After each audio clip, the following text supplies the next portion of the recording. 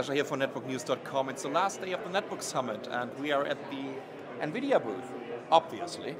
And this is um, the Compal tablet. You might seen this one during our coverage uh, from the CES in January. This is a NVIDIA Tegra 2 platform uh, running a 7-inch display that should be a resolution of 800 by 480. And this is running actually, let's take a look. I think it's Android 2.1 settings about the device. Come on. There we go. 2.1. And also has a couple of inductive um, buttons over here. But you know what?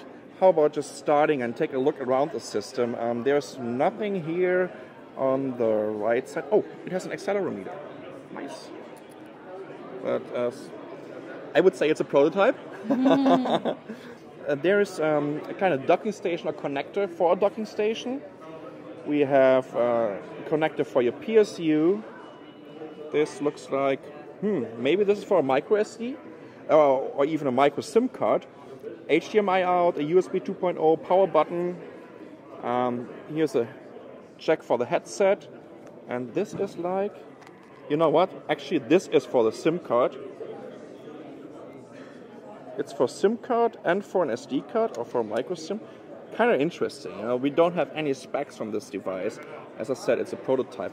Couple of inductive uh, buttons over here: a search button, a go back button, a home button. What is this button doing? Okay, this is coming up with this little bar or docking bar, and this is to. Is it just me, or are these my, my fingers? Ah, here we go. So yeah, another Tegra 2 system, and I tell you one thing: the 7-inch uh, form factor is very appealing.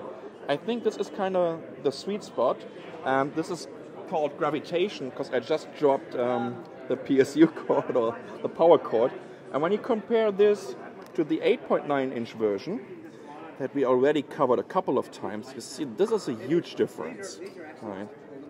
I love this one in terms of the games that we saw, especially with the Unity 3D engine. I kind of like the form factor of this one. And again, it's a prototype, the Compal 7-inch tablet running NVIDIA Tegra 2 and Android 2.1. This is Sascha from Netbook News.